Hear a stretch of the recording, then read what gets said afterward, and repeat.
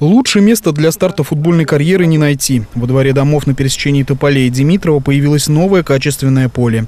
Местные дети с нетерпением ждут занятий с тренером. Играть в футбол хотят и взрослые. Поле построили в рамках программы «Комфортная городская среда». Вместе с ним появились новые детские площадки, асфальтированные дороги и парковочные места. Если сравнивать, что было сразу контрастно и что стало, это небо и земля. А что вот было? Да ничего не было. Мы жителей привлечем на посадку деревьев, на цве- посадку цветов, ну, будет вообще великолепно.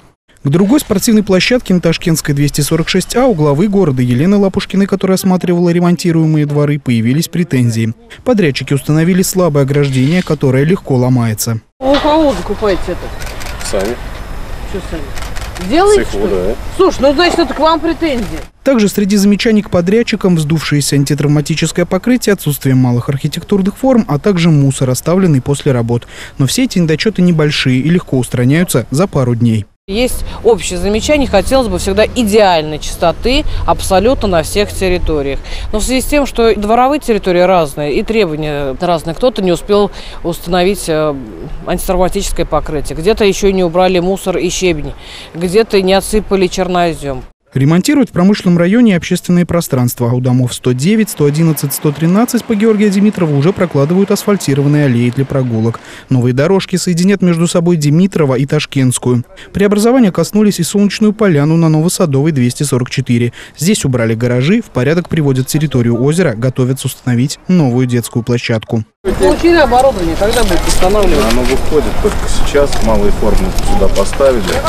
Вот. Но мы надеемся, что где-то в пятницу они начнут уже а, монтировать здесь Там, большой. мгм, да. большие вот эти Ну, корабли. Я бы сказал, что пока не ждем, коврики есть, начинайте монтировать коврик. Сегодня щебень завезется, к завтрашнему они начинают уже часть площадки забивать. Во время объезда также удалось осмотреть двор, который внесен в программу на следующий год. Жители домов номер 77 и 83 по Вольской уже сейчас точно знают, какие работы хотят увидеть, и поделились своими планами с главой города.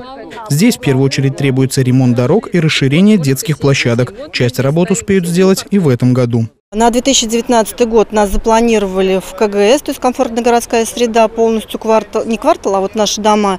И до э, конца сентября месяца отремонтируют полностью калду. А в этом году в промышленном районе в рамках федеральной программы ремонтируют 7 дворов. Работы в каждом из них завершаются. Срок сдачи – 1 сентября. Андрей Горгуленко, Артем Сулайманов. События.